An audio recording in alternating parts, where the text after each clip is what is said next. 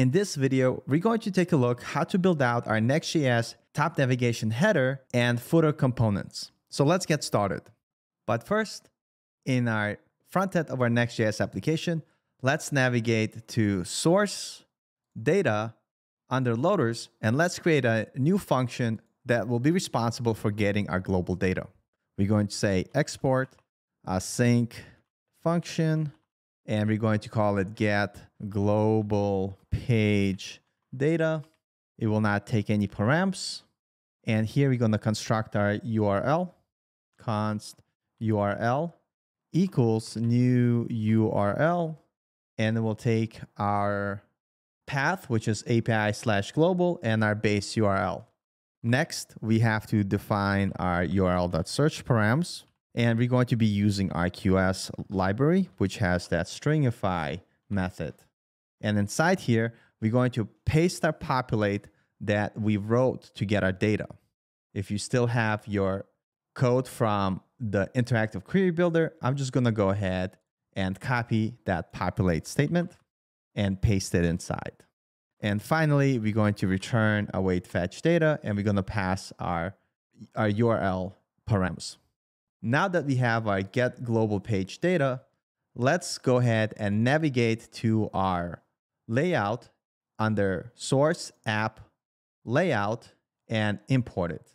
So import get global page data, and it's going to be from our data loaders. Fantastic. And now what we want to do is create the root layout component to be a async component. And right before the return statement, we want to await our get global page data. And let's go ahead and console log our global data to make sure that we're getting it. And here you could see my response, so we know that works. Wonderful. So now we could continue to create our components. Let's navigate to our components custom folder and create a new file called logo.tsx. And this is where our logo text is going to be stored. We're not going to add any images here, but you could go ahead and do so in the future if you like. We could find the code snippet in the blog post that is linked in the description below. So under building our header and footer with Strapi, you'll be able to find all the code snippets. We already covered how to model our data in the previous video, but if you keep scrolling down, you're going to find the code snippet logo component that we're working on right now. Go ahead and copy the code and inside our logo.tsx file, let's paste it in.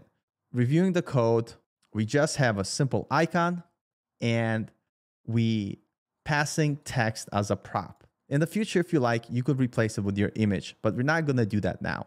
Now that we have our logo.tsx file, navigating back to our custom folder, let's create a new file and we're going to call it header.tsx.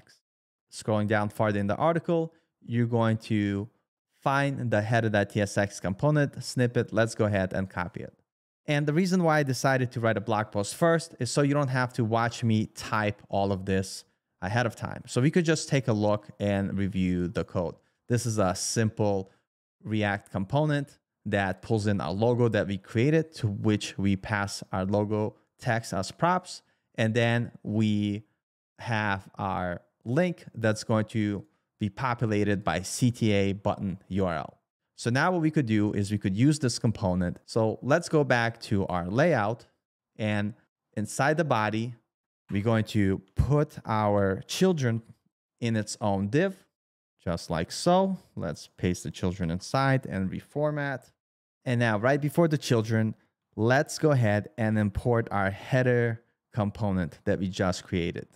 And it's going to, for its data prop, take our global data that header. So now if we restart our application, if you haven't, and take a look at our front end, notice that you see our summarize logo text and our sign in button. Currently, if I click our sign in button, it redirects us to sign in and we see the generic 404 page.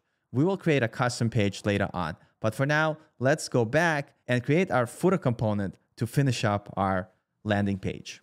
So inside our code editor, let's navigate back to our components, custom, and create a new file called footer. footer.tsx.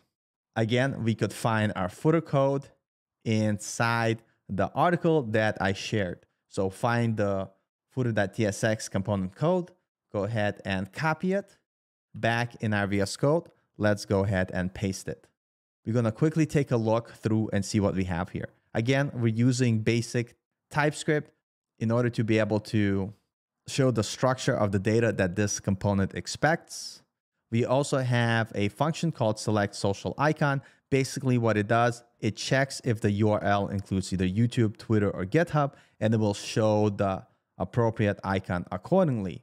And if you wanted to add additional social icon, you would just add it here.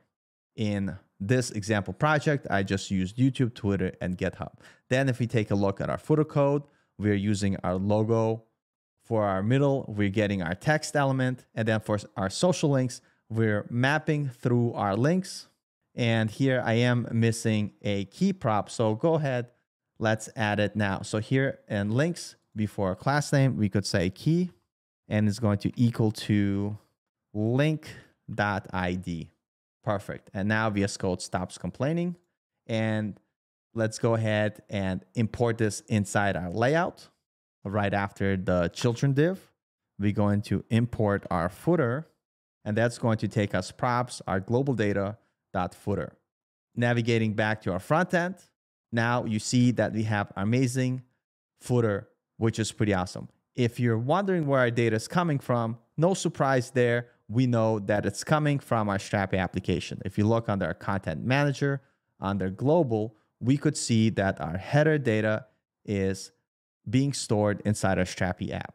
Now, one thing that I want to show you, after we refactored our code in our loader.tsx file, we again disabled the no caching for production. So I want to revisit that in a second. But what this means is that if I make a change made with love by Paul and click save and go back to our application and refresh, if I take a look at the footer, this message doesn't change. That's because this is being cached. And if we need to update it, we need to revalidate it.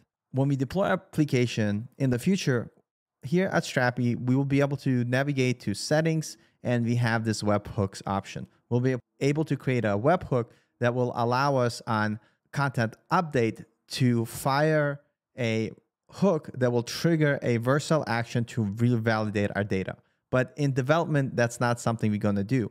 And so before I'll show you how we're going to solve this, the first thing that I want to say is that everybody should go ahead and read data fetching, caching, and revalidation in Next. This is a very important piece of documentation that you should familiarize yourself with. But if we scroll down, you will find a section on opting down. In the past videos, we took a look at how to use the cache no store function.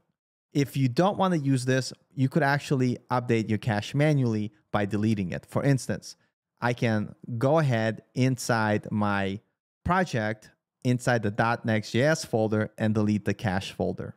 Then I could restart my application. And if I refresh my front end, notice now we see made with love by Paul. But that's a manual process. What you can do is you could run a script. Whenever you run yarn dev, it's going to go ahead and remove that cache folder. And that's what I have done in the past. So here I have a yarn clear command. And if you take a look what clear does, it goes ahead and removes the .next folder, including the cache files. But what we're going to do, instead of doing this, we're going to use another method that exists in Next.js called unstable no store function. So what we're able to do is we're able to import this function and use it. And this will go ahead, opt us out from Next.js caching. And what's awesome, we could do it on component level. So going back to our application, let's go inside our loaders.ts file. At the top, I'm going to go ahead and import that unstable no store, and we're going to use it.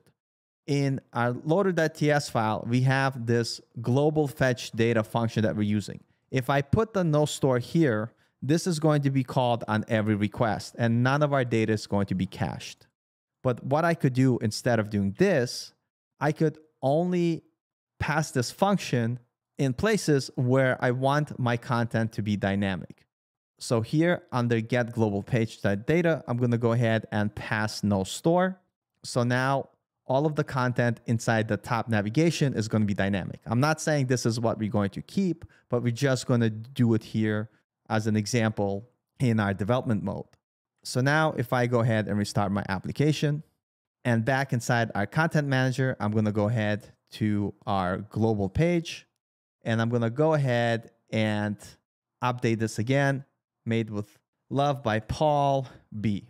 Bratz. Why not? I'll use half of my last name, click save. And now when we take a look at our front end and refresh, notice that this is automatically updated. Again, I suggest you read the docs to learn more about it.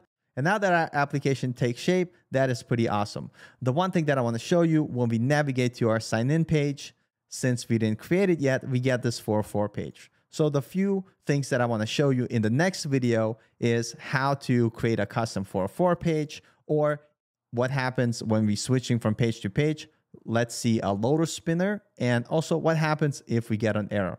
But with that being said, I'll see you in the next video.